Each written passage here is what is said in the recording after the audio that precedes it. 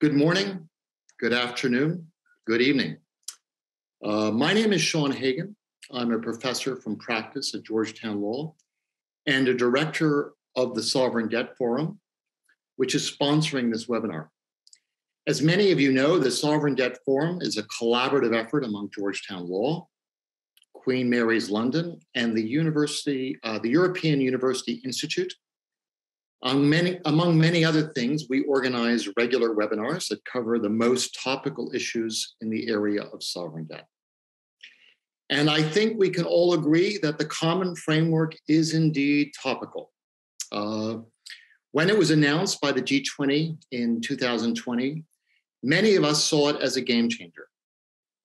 But more than two and a half years on, there are real concerns on implementation. To say that progress has been slow is a bit of an understatement. Of the three countries that have sought treatment under the common framework, Chad, Ethiopia, and Zambia, none have actually seen their debt restructured. And this slow pace comes at a time when, at least according to the fund, almost two thirds of low income countries face debt distress. With the economic dislocation caused by the pandemic, being exacerbated by rising interest rates, energy prices, and an appreciating dollar. Not surprisingly, there is no shortage of opinions as to what the problems are and how to fix them.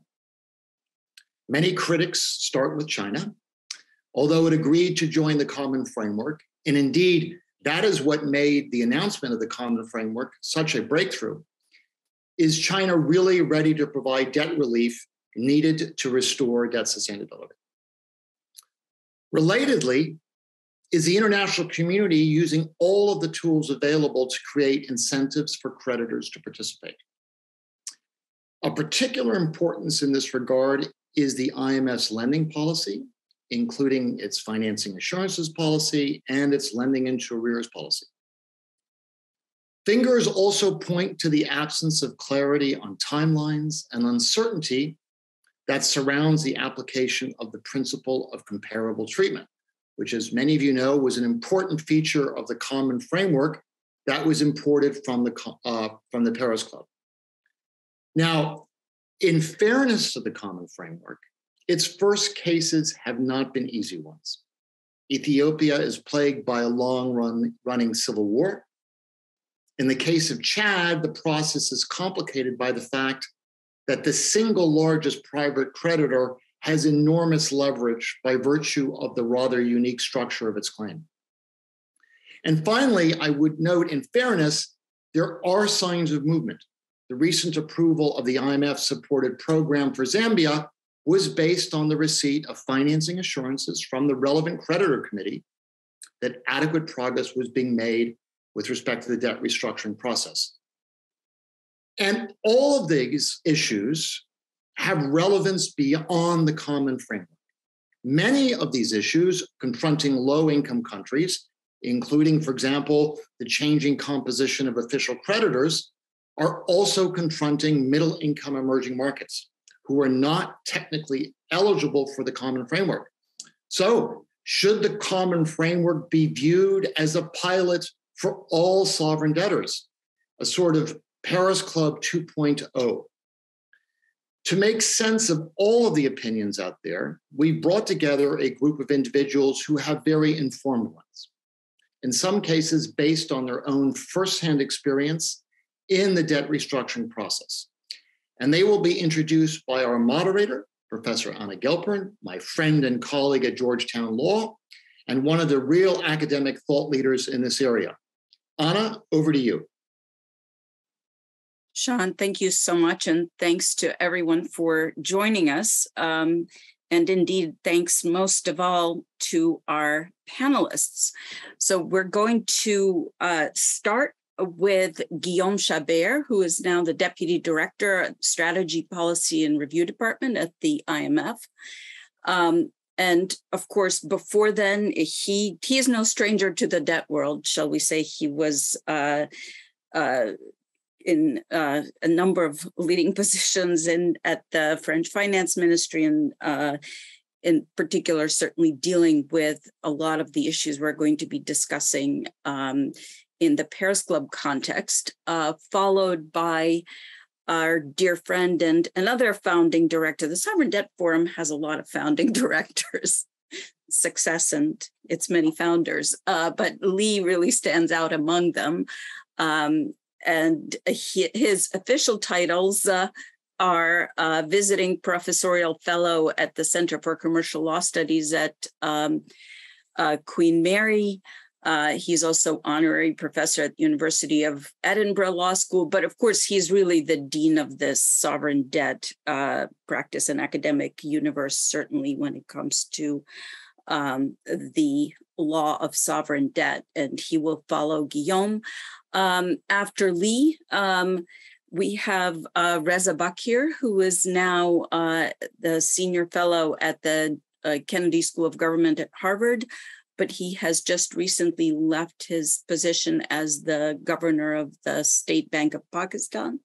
And he will, um, of course, he has a unique vantage point as well um, on, uh, in particular, the Common Framework, DSSI, um, as uh, Pakistan uh, had a prominent role in that process. And, and before then, like the other panelists, uh, he has a rich uh, he has had a rich life in the world of sovereign debt in uh, more places that I could list.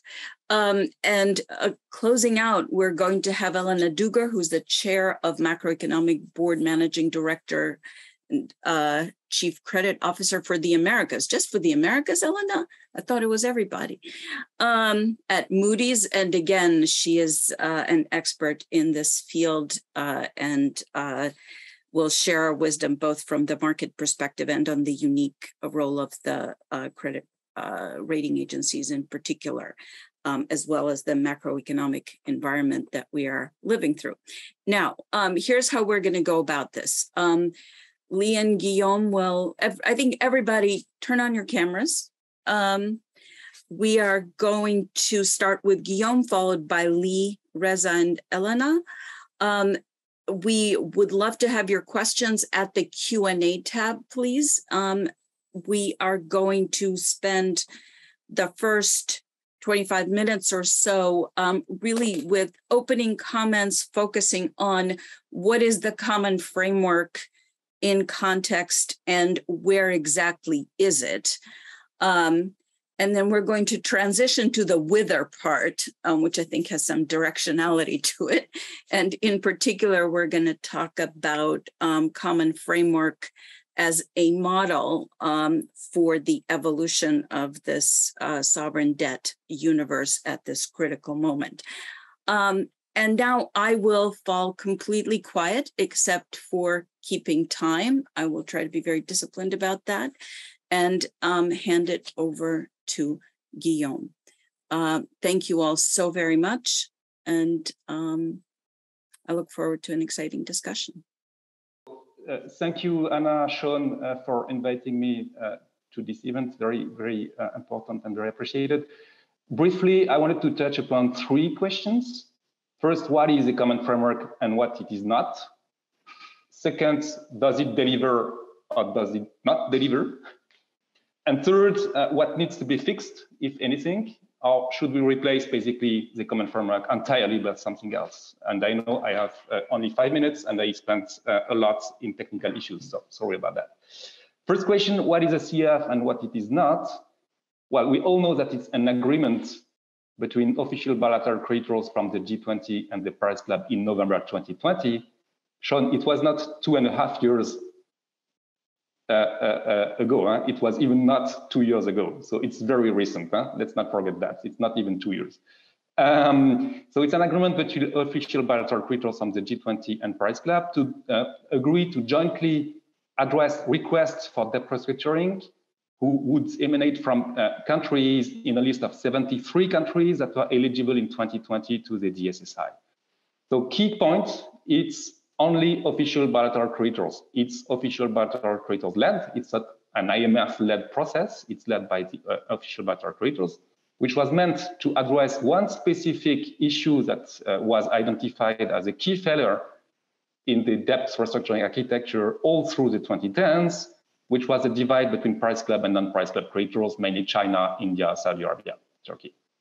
So that's one key element. It's creditor-led, it's case-by-case approach. It's not at all top uh, uh, uh, down approach like HIPC was. There's not a list of countries with targeted debt relief that would be meant to be achieved. That's not at all the point. It's really a bottom up, completely case by case, with a few rules that are very important. Debt relief had to be provided in the context of an IMF program, a UCT quality type of program. Um, the IMF World Bank DSA is meant to be, you know, the uh, uh, tool to assess the restructuring envelope that is needed to restore debt sustainability. And there are in the common framework the uh, typically Paris Club-like rules to assess comparability of treatments for the private creditors and the other official bilateral creditors.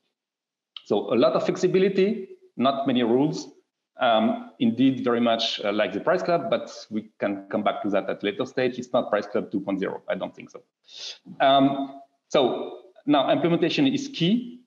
And we've seen over time the common framework create, generate, you know, through the different cases, its set of rules in terms of implementation. And I will come back to that at some point, but we've seen the case of Zambia dealt with completely different from what the case of Chad uh, uh, had been implemented, for instance, with very early engagement with the uh, country authorities on the debtor side, very early engagement with the private creditors and a process that went much uh, better in terms of involvement of China in the process compared to what we've seen in the uh, first case. Second question, does it deliver or not?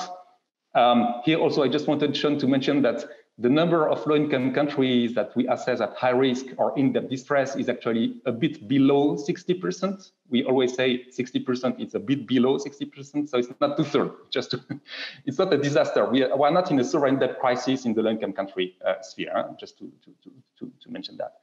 Um, I think I was meant to mention the status of implementation of the three country cases that uh, have implemented the, the restructuring under the common framework. So uh, Sean alluded to that already.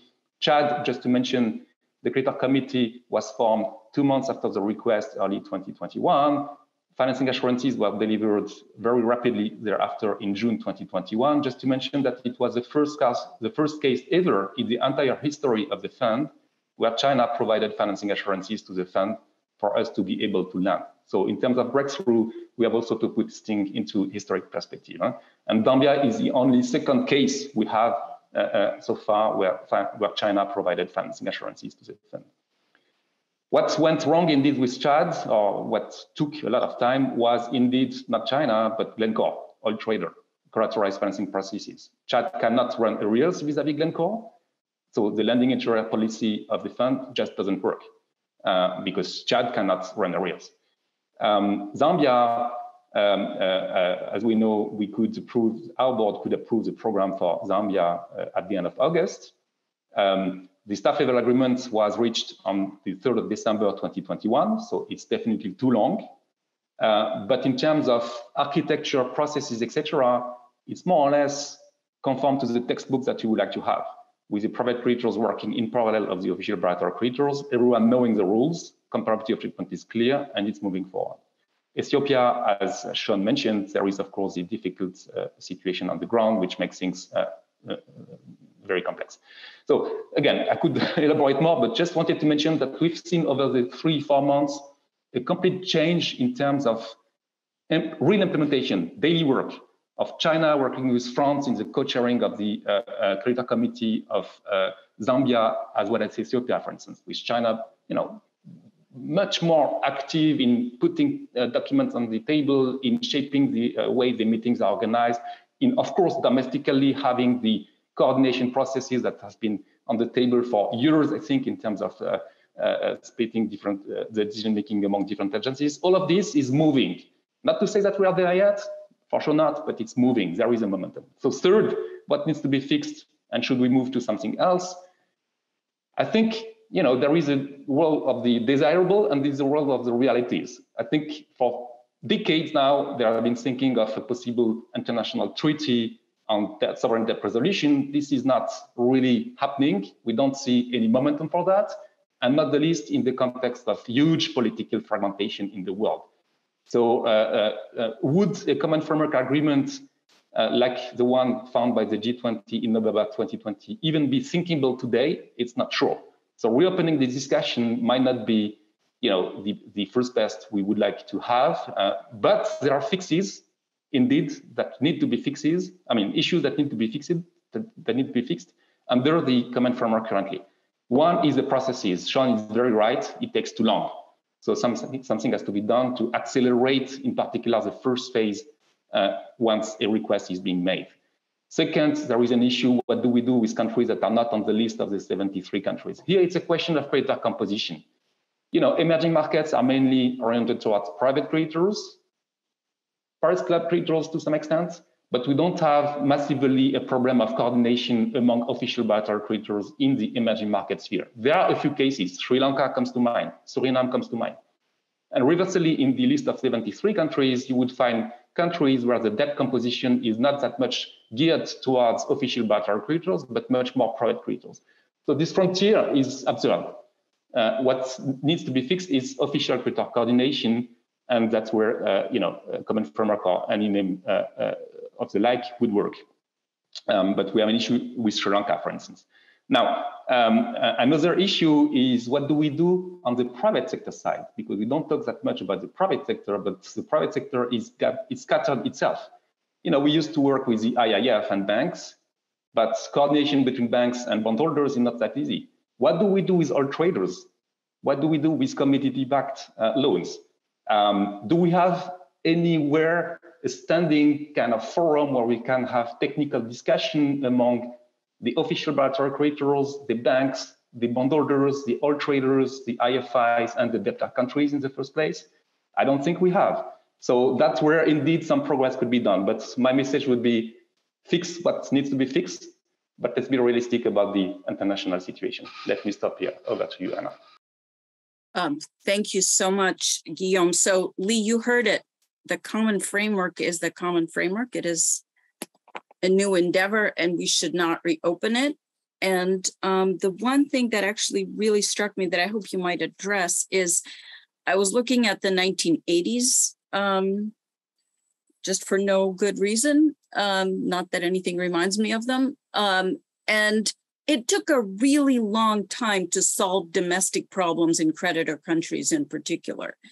Um, so whenever we talk about the 1980s, we talk about the Brady bonds and the magic bullet that solved it all.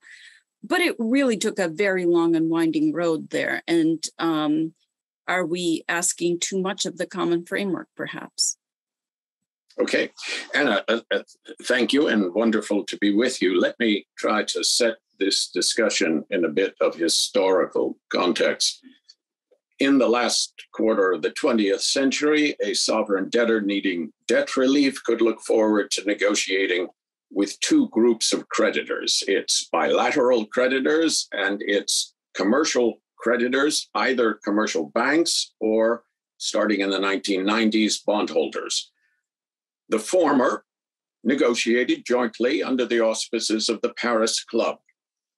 The commercial creditors, whether banks or bondholders, typically formed representative creditor negotiating committees, and that's how the process went forward.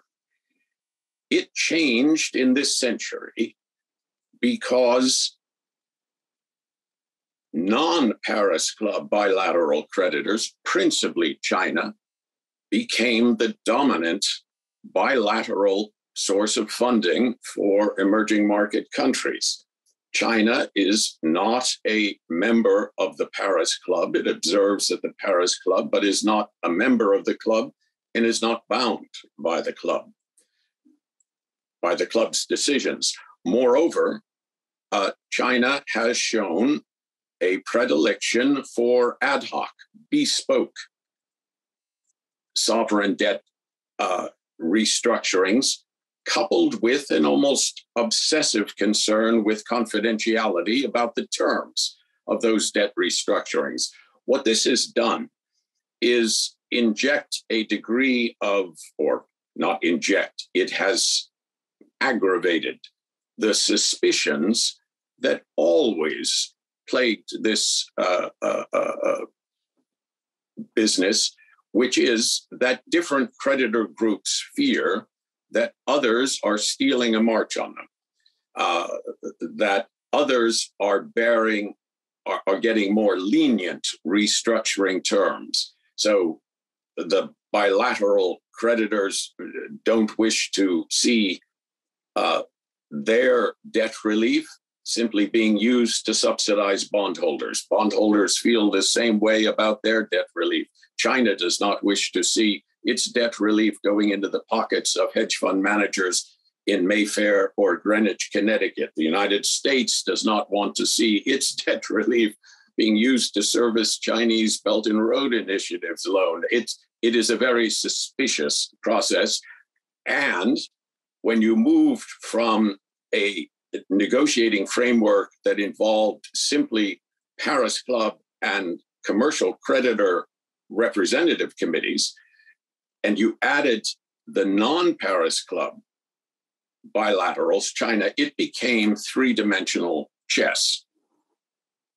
And that, the fact that no one wished to move unless they could be sure that the other groups were providing comparable debt relief, that injected a degree of arthritis into the process. Why? Because if any of them dragged their feet, the entire process bogged down.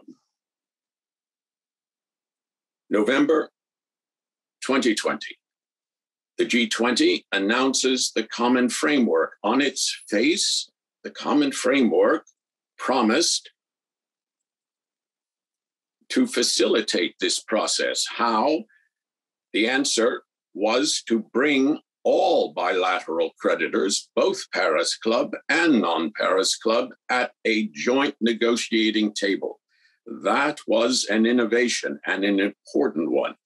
Uh, they would then negotiate debt relief for the country, and then, as the bilaterals saw it, uh, the country would leave that negotiation under a requirement to seek comparable debt uh, concessions from its commercial creditors. That was how it was supposed to go.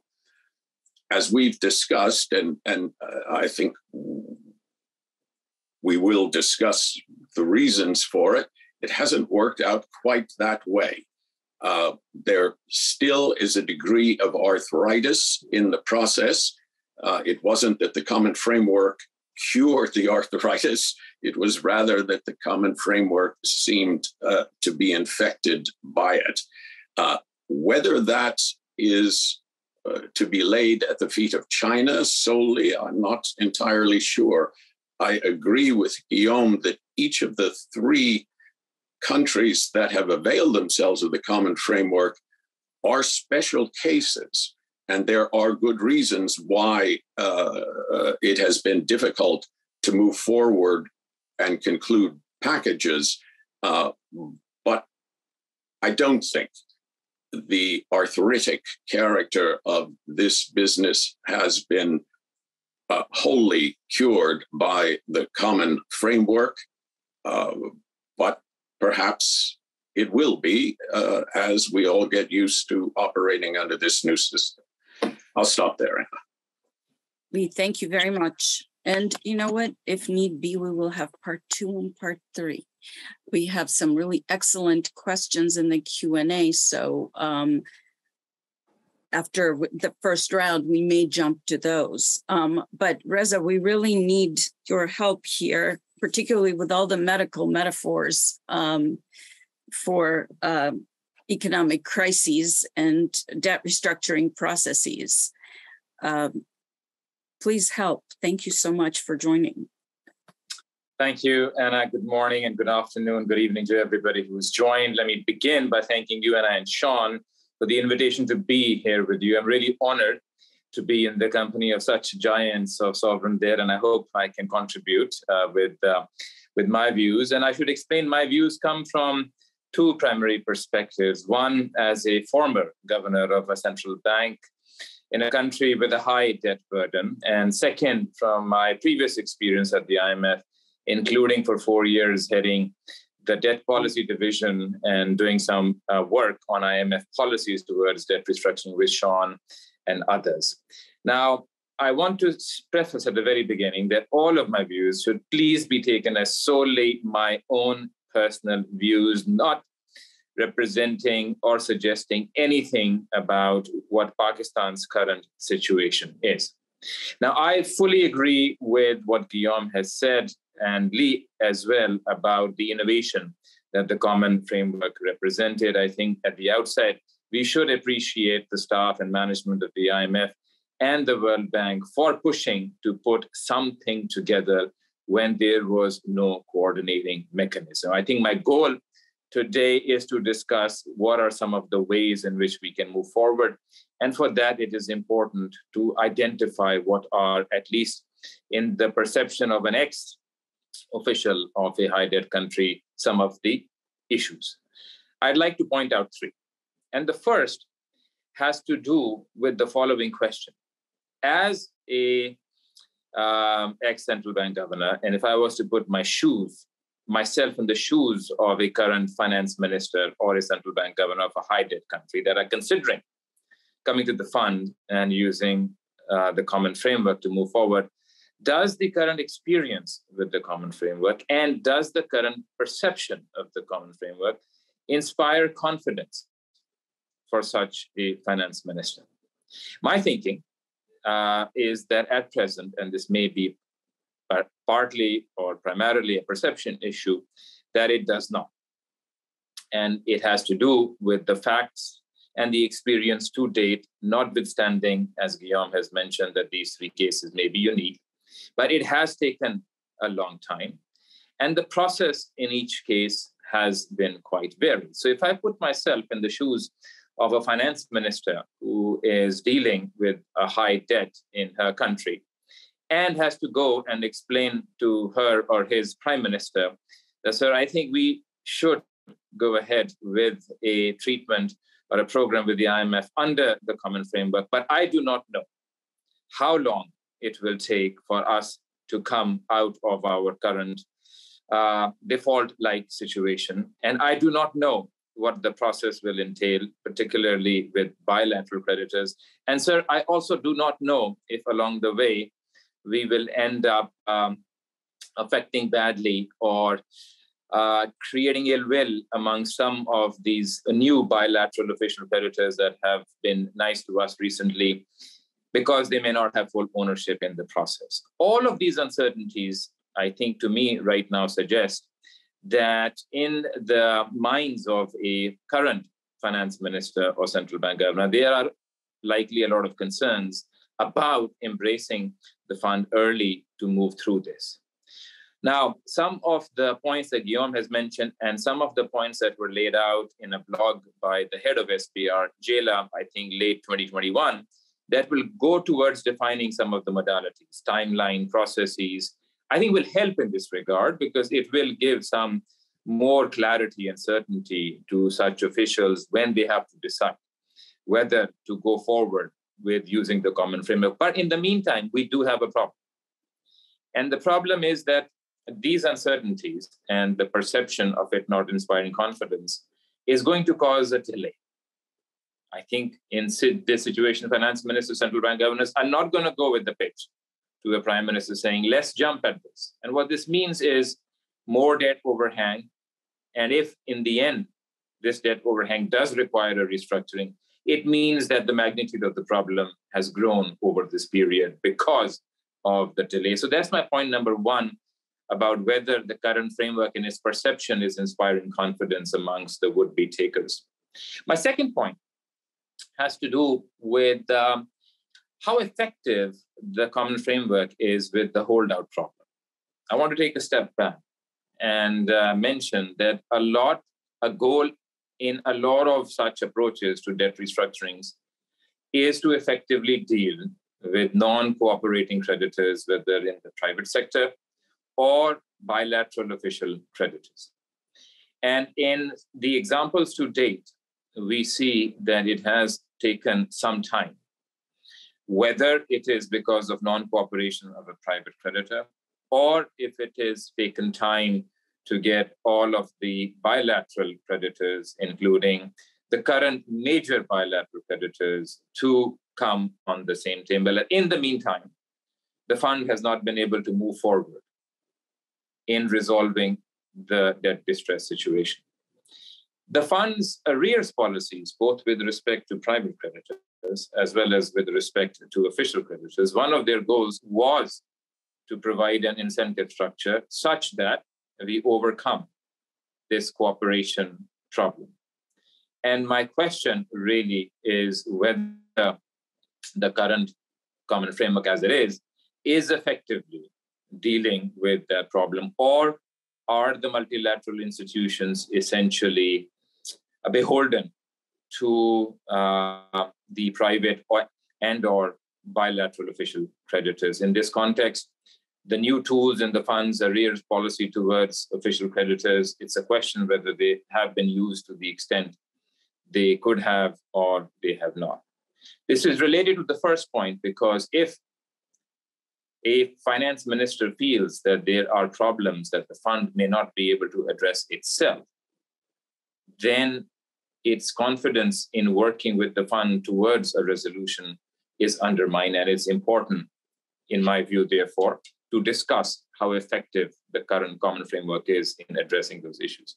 And my last point is simply how do we then get more ownership? And by ownership, I mean ownership of the fund, ownership of the World Bank in the common framework. There are some issues that get mentioned in um, uh, by uh, experts in the discussions of the common framework. Um, but it is unclear what, if any, are the solutions. And some of these are, for instance, the role of the Paris Club itself. Um, are the new creditors, do they have as much ownership in it? I, when I used to go to the Paris Club and represent the IMF, this is several, several years ago. Even then, the Paris Club was talking about bringing China into the Paris Club.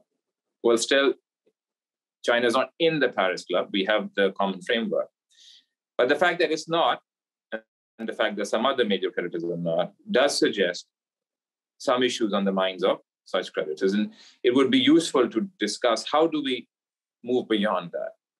And my second main comment with regards to some of the outstanding issues is also what to do with the multilateral development banks.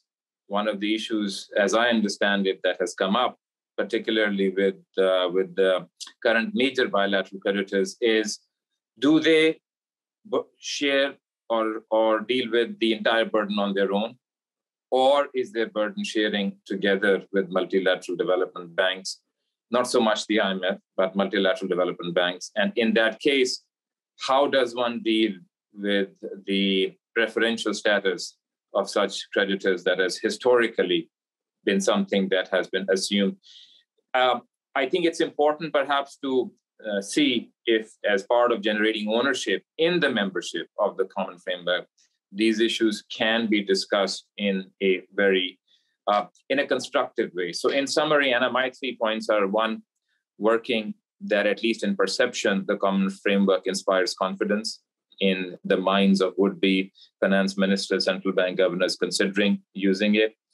That uh, thinking about it, dealing effectively uh, with generating cooperation amongst official and private creditors so that we don't have a holdout type problem. And finally, what is some of the discussion that we need to do uh, to generate ownership, particularly amongst the new bilateral official creditors? Thank you. Reza, thank you very much. And lest anybody wonders, I do not consider myself a failed moderator for letting everyone uh, exceed their time because I think that what has been said has been extremely valuable. So, what we're going to do is after Elena brings us home, and in particular, Elena, I wanted to uh, tease out one point that uh, Reza, uh, that uh, was sort of mentioned but might have been lost in Reza's remarks, and that is.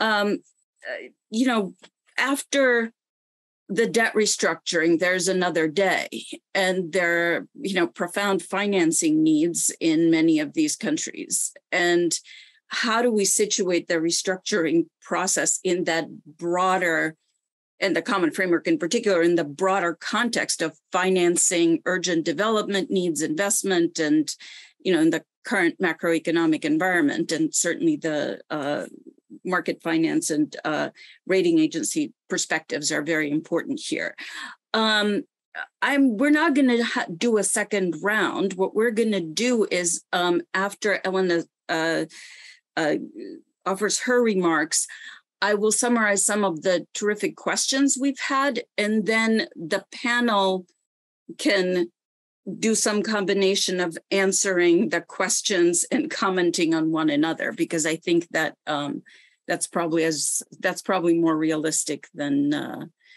uh, monopolizing the discussion for ourselves. Um, so, Elena, thank you so much, and please bring us home and solve all the problems. Always happens, but it doesn't. thank you, thank you, Anna. Thank you all for having me on the panel, and thank you all for joining us this morning. I'll, I'll address two questions. I'll put a little bit the macro and market context within which the common framework discussion is taking place and uh, kind of drive home the point why why this discussion is extremely timely and then i'll talk a little bit about uh, coming from a rating agency perspective talk a little bit about uh, kind of what happens to ratings around debt restructurings and i'll make a couple of points there where i felt that sometimes the role of ratings is slightly misunderstood in, in that uh, in that context. So let me let me take a step back and kind of frame the the uh, credit environment. And uh, we are using the turn of the cycle as the headline for for our uh, kind of mid-year credit conditions outlook update, and it's meant to capture the fact that the credit environment has turned. We are looking at quite challenging uh, sovereign and generally global credit conditions for the next two years. So we are, we are looking at an environment of, of elevated inflation, high interest rates, lower growth, less supportive external environment in terms of lower trade flows. And we are also looking at uh, tighter financial conditions, tighter liquidity, and a lot of uncertainty in, uh, in the environment, which will translate into financial markets volatility, which for sovereigns in turn would mean stop and go market episodes of stop and go market access for, for spec grade uh, credits. So very uh, challenging environment going forward. We do expect that to translate into uh, a higher sovereign default rate over the next two years. So we don't expect a widespread emerging markets debt crisis, so nothing of that of that magnitude. But we do think that we will see more sovereign defaults over the next couple of years, and we already have five defaults in 2022 so the we usually the, the typical sovereign default count is one to two a year. We had a spike in 2020 on the back of the coronavirus shock. Uh, we had six defaults in 2020 there was one default last year only and we are already looking at five five defaults uh, so far in 2022 so quite challenging quite challenging credit environment which makes again this conversation uh, very very very uh, timely the a couple I wanted to address the questions. So coming from a rating perspective, I wanted to address a little bit of questions of what happens to ratings around the debt restructuring because there are aspects to this which I think uh, there's some confusion around this and how people think about this in the official in official uh, sector discussions for for sovereigns ratings normally so credit ratings reflect the uh, capacity and willingness of governments to repay debt. So they refer very narrowly to debt repayment capacity. Credit ratings normally come down as credit stress increases. They are normally on the bottom of the rating scale, usually in the for Moody's in the CAA C space, way before the restructuring event occurs. So we're talking about a year or more before we get to kind of a severe debt crisis or debt restructuring event. Ratings tend to stay, not tend, they stay low leading up to the debt restructuring as they reflect the higher the higher risk the high risk of default and the expectations of losses for investors. Now upon the completion of the debt restructuring and if we normally have a, a debt exchange, the old bonds along with their ratings are withdrawn. The new bonds come into market they're newly rated and they're re-rated on a forward-looking basis. So we're looking at debt repayment capacity three to five year out on the new debt and that that new rating takes or new assessment of the rating takes into account the benefits of the debt restructuring it takes into account debt relief that comes on the back of the debt restructuring it takes into account relief in debt servicing costs that normally comes on the back of a debt restructuring along with the forward-looking view uh, in terms of economic trajectory and fiscal policy trajectory and debt trajectory for, for the economy. So the, the reason I'm going over this is a lot of, and I'll, I'll leave you kind of with a thought on this. A lot of the discussion around the common framework was focused on what happens to the ratings in, in the time of the debt restructuring. And in the typical case, nothing happens to the rating during the debt restructuring. Ratings just indicate that default is occurring. What really matters from a public policy perspective is what happens after the debt restructuring. And the decision to participate or not should be the cost benefit analysis you know, do the benefits of the debt restructuring outweigh outweigh the cost? And I think that's that's quite, you know, um, and again, the rating is an input in that decision, but it's not the answer. The answer has to be the cost benefit analysis of the debt restructuring. Uh, so I'll, I'll, stop here. Oh, well, thank you so very much. Um, and uh, so, am I? Uh, this is a clarification question. Am I right that you could have a debt restructuring that is perceived as not deep enough or not comprehensive enough to solve a debt problem. And the cause of, let's say, the persistent low rating would not be the fact of the restructuring, but the fact that it wasn't deep enough or it wasn't, it didn't solve the problem in many cases, I think last last time uh, uh, kind of we updated our study around what happens around debt levels and, and debt relief around defaults. In many cases, I think there was some debt relief. In many cases, there was no debt relief around the debt restructuring. There was restructuring sort of on the margin, where countries emerged with still very high debt levels and a lot of uh, and, and still kind of a lot of uh, banking sector problems and external vulnerability, which remains high. So the rating kind of trajectory remains low after after the, the default. Thank you so much.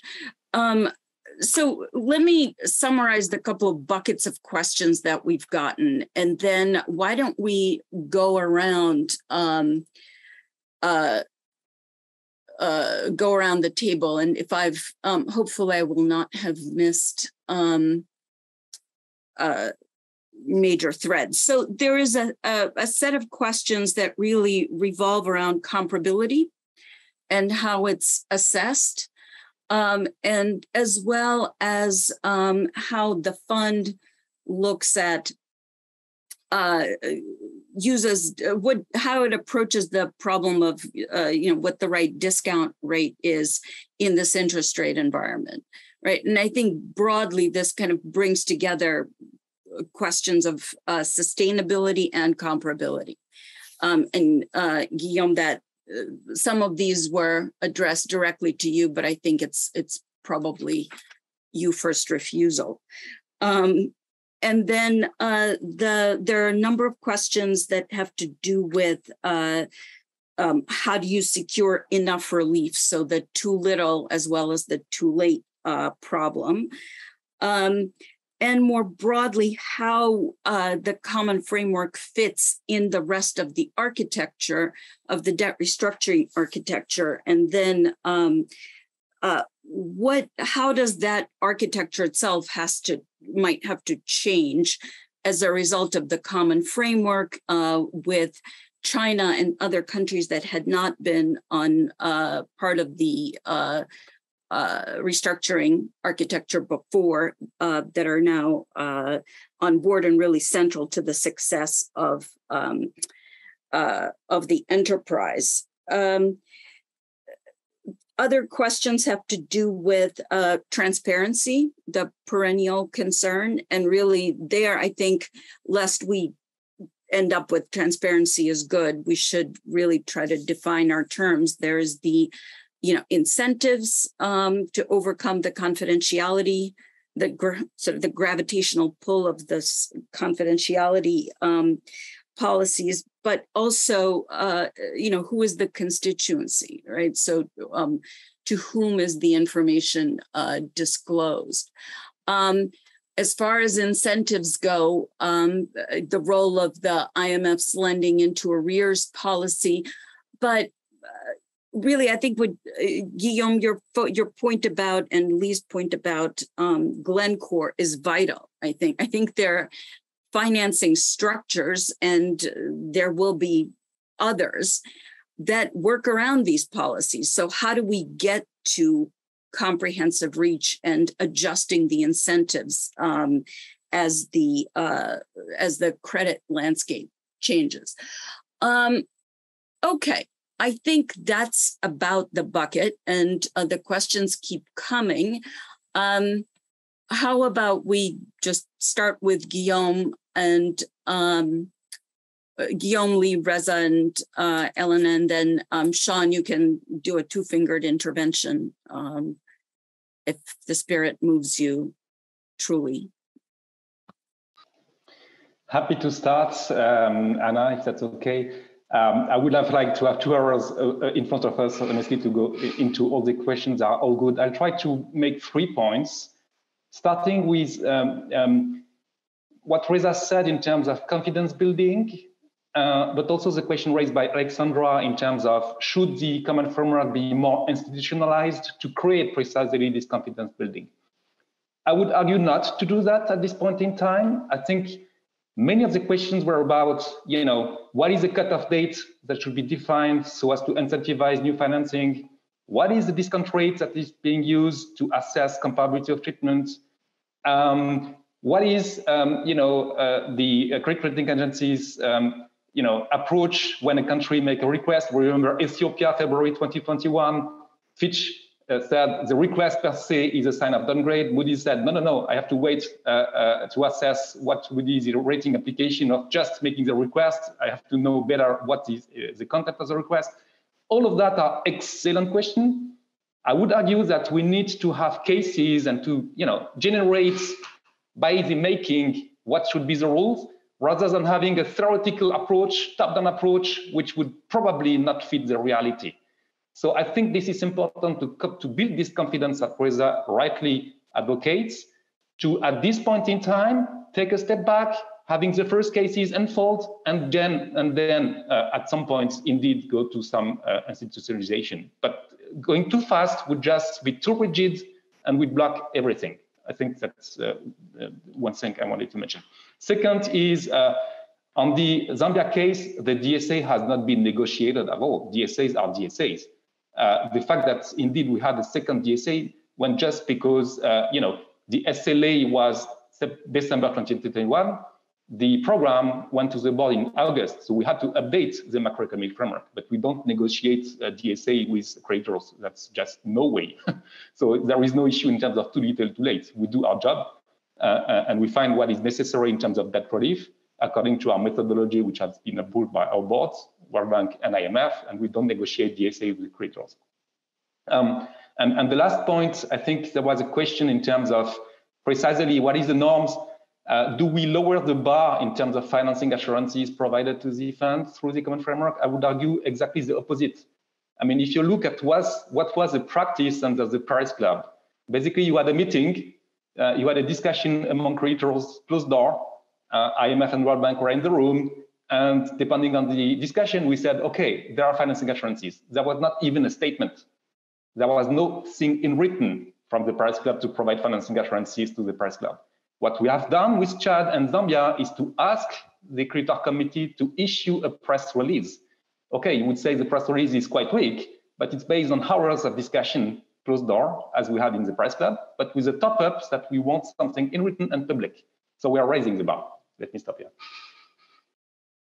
Thank you very much. And I do want to flag the chicken and egg problem, right? That if we don't have uh, the sort of Reza's incentive point, right? So on the one hand, we're committed to case by case. On the other hand, if we don't know where it goes, it's a little scary to be a case. But it is what it is. Um, so Lee, speaking of case by case um, and where it takes us, and then Reza and Elena. Yeah, thanks, Anna. Let me deal with the first three of the groups of questions. First, comparability.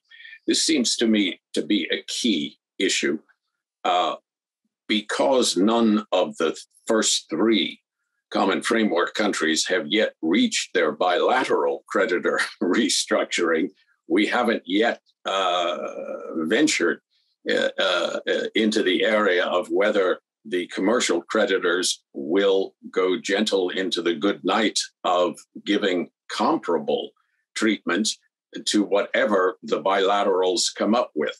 Comparability will be assessed in net present value terms. That is how the Paris Club does it. Um, but of course, it turns, as you mentioned, critically upon the question of the discount rate. The Paris Club traditionally uses a very low discount rate, I think in part because they don't wish to advertise to their uh, taxpayers just uh, how much debt relief they have been giving. Uh, the commercial market will use uh, a much more uh, realistic uh, discount rate. and so that is going to be the key.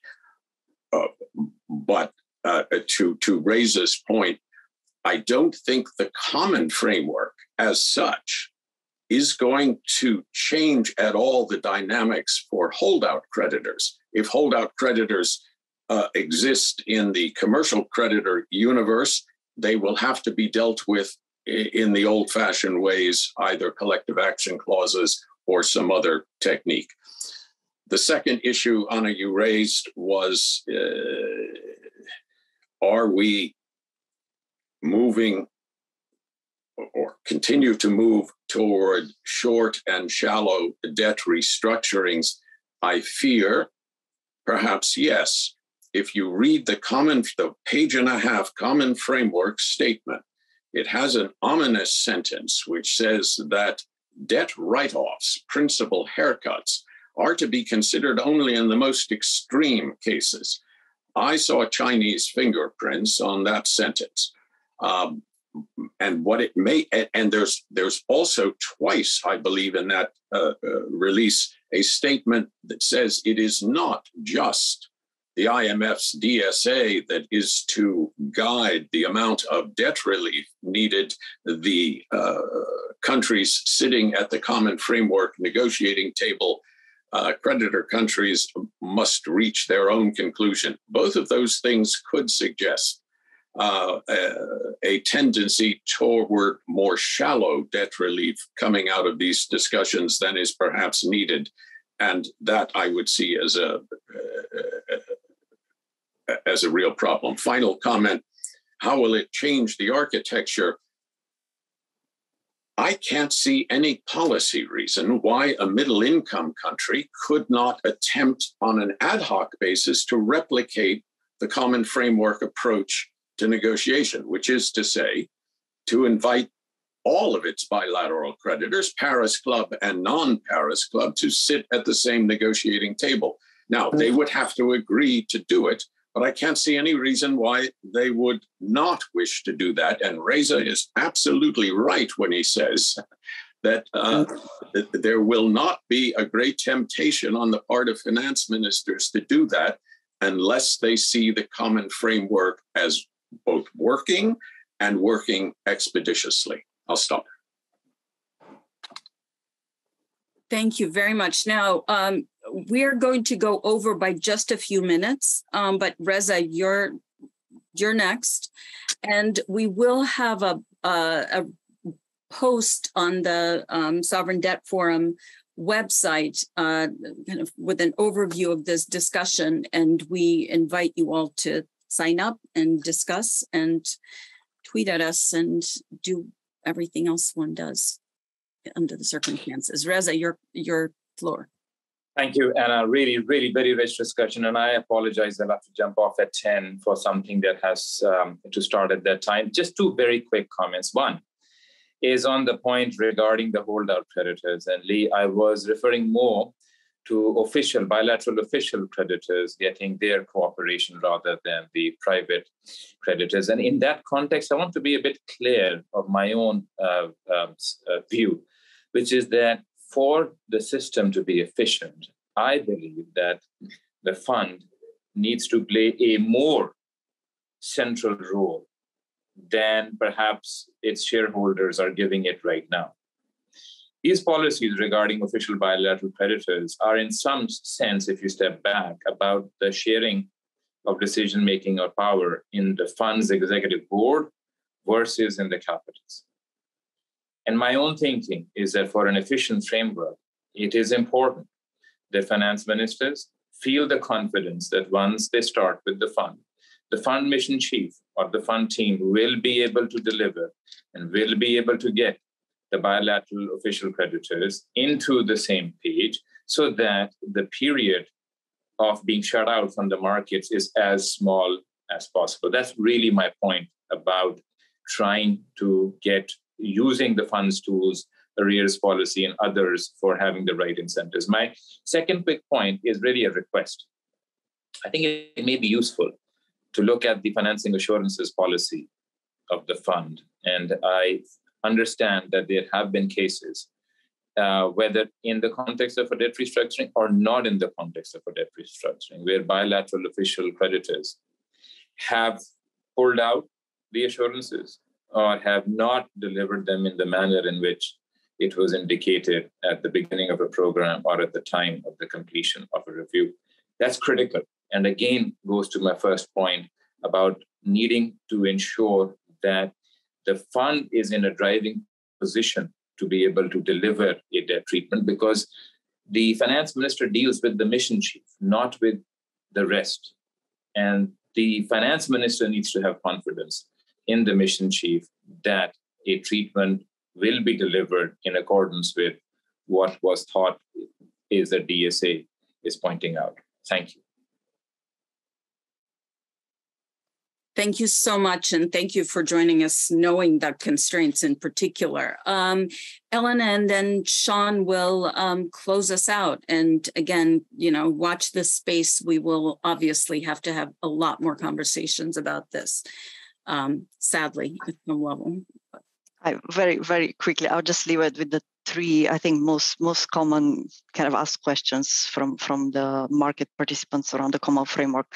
One is relook at eligibility, and a lot of middle income countries uh, are in, in distress, so should that be expanded to middle income countries? The second point that comes up is around coordination, how to make sure that private sector is at the table, private sector and the borrowing country are at the table along with the official sector from the beginning of the process. And then the third one is kind of acknowledge the, the third comment we hear a lot is acknowledge the total financing package. So private sector, there could be debt relief, but there's also a lot of new financing that comes from the private sector that, that should be acknowledged as well. So I'll leave it there. Thank you. The terms matter, of course, but yes, thank yeah. you so much. Um, Sean, um, the grand conclusion and the ultimate wisdom. No, I, I'm, there's no grand conclusion and certainly no wisdom, and I will let you close out. I just wanted to make one point in light of it, what everybody has said. Clearly, the, this common framework does not operate in a vacuum. We have to look at other incentives that are in play. And um, I had mentioned the fund's lending policies, and uh, both Guillaume and Reza had mentioned them. I just want to identify that in the lending into arrears policies, there is there is an asymmetry between the flexibility that exists on the policy with respect to private creditors and official creditors. The policy on official creditors does not have the same degree of flexibility. And it's unfortunate in a way, but that is the reality. And I agree with Guillaume. It is, it's going to be very difficult to revisit that. It doesn't mean that there's no flexibility, but it's more limited, particularly when the official bilateral creditor is a large one. Um, so we need to bear that in mind um, when we look at the adequacy of the incentive framework that basically supports the common framework. Anna, you should close us out. Well, um, first of all, I cannot thank all of you enough. Our fabulous panelists. We could make it a four hour event, but we didn't.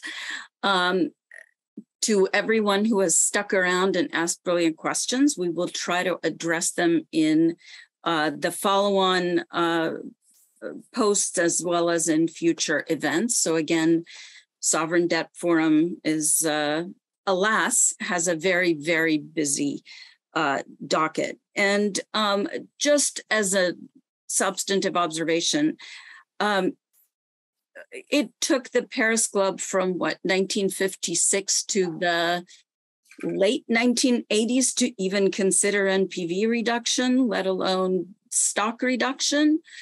Um, so my fear is that this is a very long road, but my hope is that there is learning that goes on along the road and that um, that will in turn um, lessen the misery and shorten the um, uh,